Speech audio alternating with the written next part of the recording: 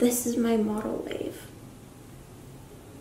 The moon shines red, rainy skies ahead, and her heart beats fled. Woke up in her bed to the moonlight.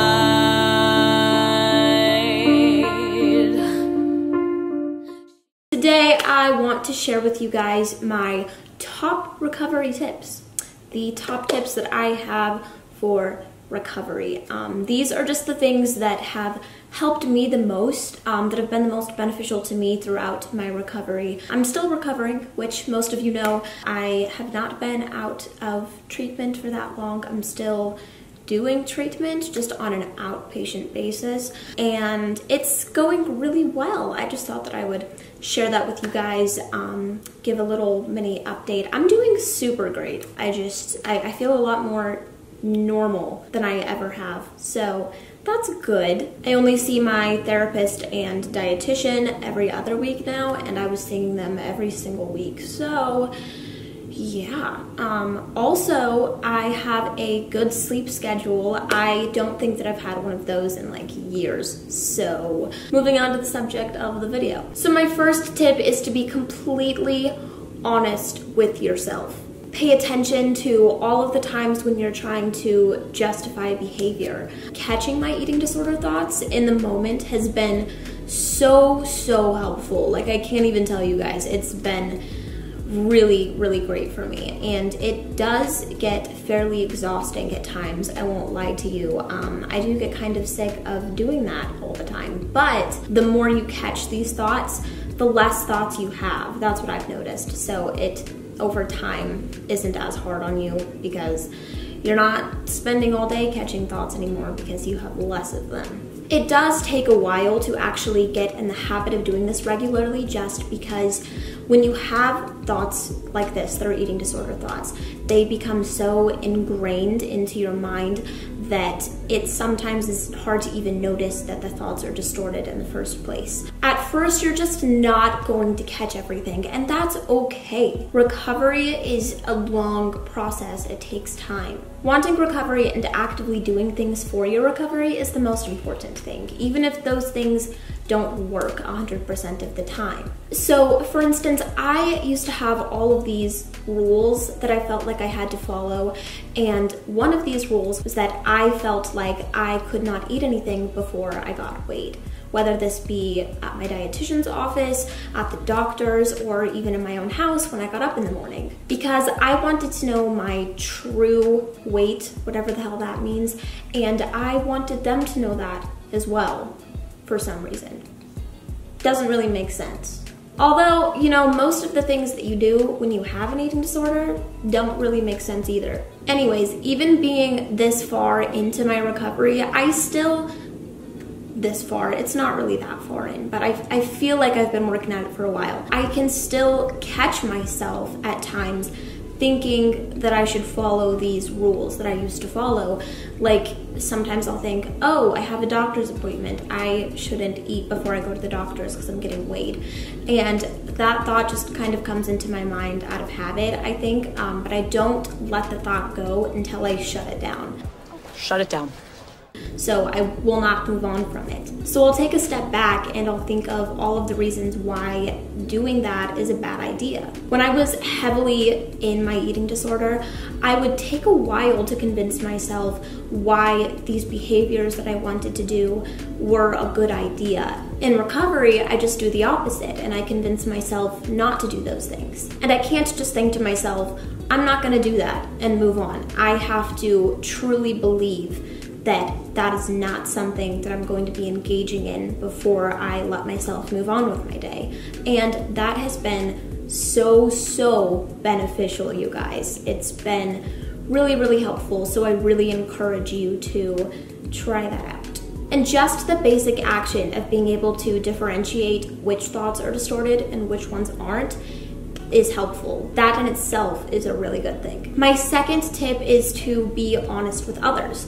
If you have a dietitian or a therapist or both, tell them every little thing that you can think of that's on your mind that has to do with your eating disorder. It's difficult to get to this level of vulnerability, but after time, you get really used to it and it becomes really freeing.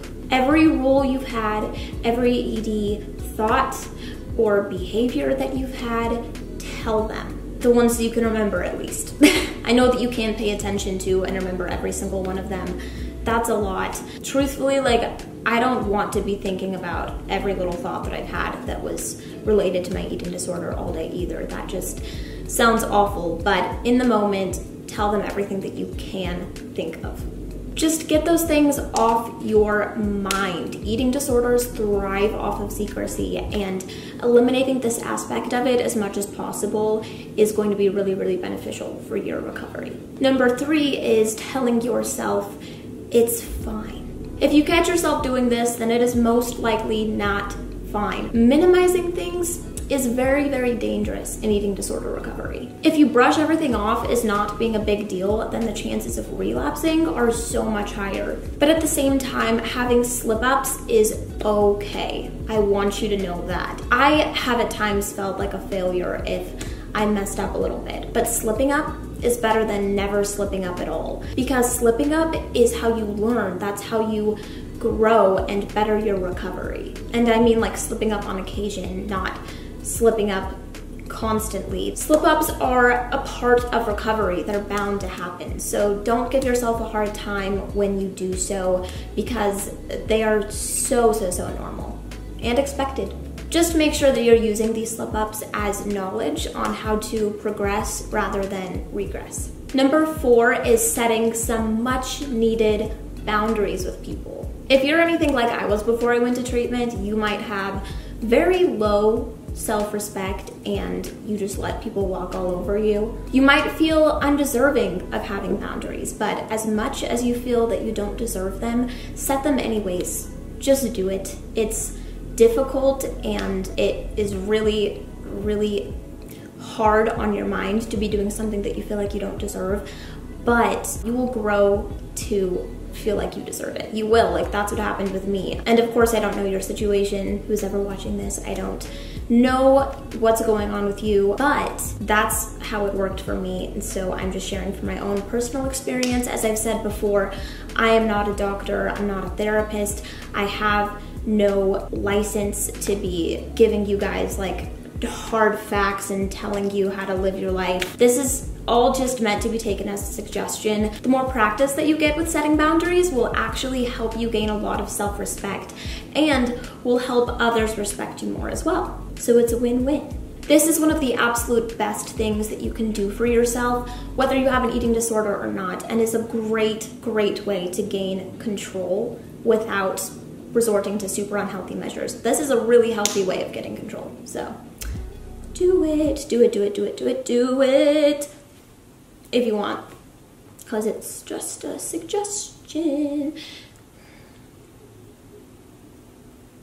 Number five, don't let yourself know your weight ever. As much as you can help it, anyways. Recovery is gonna be so, so, so much easier if you don't know your weight throughout the process. This means getting rid of scales in your house, closing your eyes when you go to the doctor's, or turning around if you don't think that you have enough willpower to close your eyes. If I accidentally see my weight, I will go into a huge spiral and if I never would have seen my weight, I would have just continued on doing well.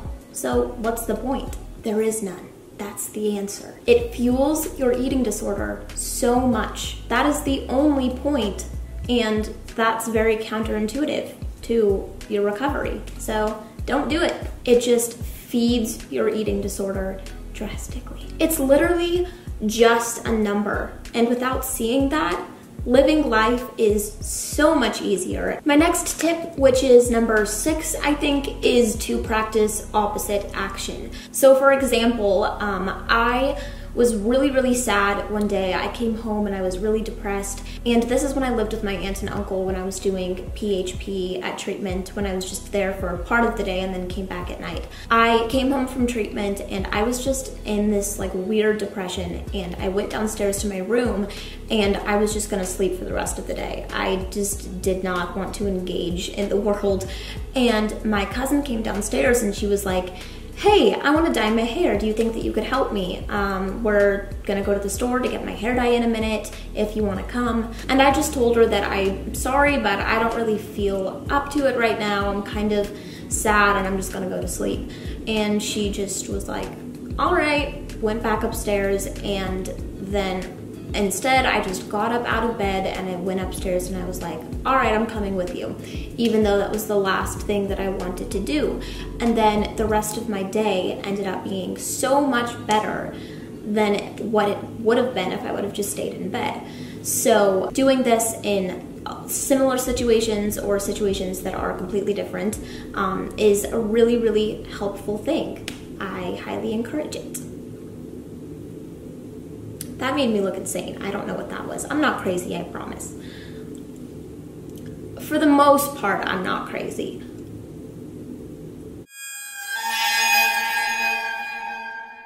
Um, anyways. Oh, did you hear that? I'm gonna go now. I hope you enjoyed the video and I will see you guys soon. I love you all and I hope that you have a wonderful day. Love you. I already said that, but I'm just saying it again to let you know how true it is. Okay, thank you. I love you. Bye.